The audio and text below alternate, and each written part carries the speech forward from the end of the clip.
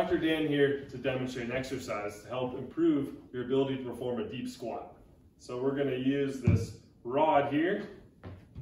You're gonna grab up high on the rod and you're gonna sit back and go into a deep squat. You can try different positions on the rod to help you get lower. And again, that exercise is gonna help you perform a deep squat.